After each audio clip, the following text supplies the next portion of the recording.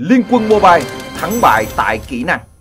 Trong giải thiên hạ xa xăm, Anui là một tinh cầu đang dần tàn lụi. Nơi đây là cõi ngự trị của Diêu cự thần. Một tinh cầu đáng già đã chết từ hàng vạn năm trước nếu không được nuôi sống bởi tình huyết của các vị thần đa nguyên vũ trụ. Đó là động lực khiến Diêu trở thành một kẻ sát thần. Với hắn, không có thiện hay ác, chỉ có sự tồn vong của Anui là quan trọng. Và không may cho Mirat và Tulen, lần này đôi bạn cũ đã trở thành con mồi của Diêu.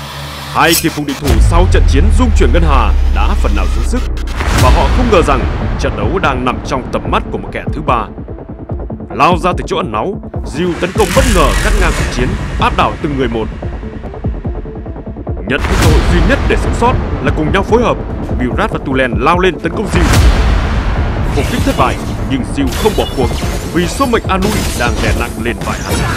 Cuộc chiến chuẩn bị rơi vào bế tắc thì Tulen mở cổng không gian tẩu thoát. Mirat cũng tận dụng cơ hội trốn khỏi tên thợ săn khát máu. Nhưng Diêu cựu thần sẽ không ngừng săn đuổi. Trận chiến này mới chỉ bắt đầu.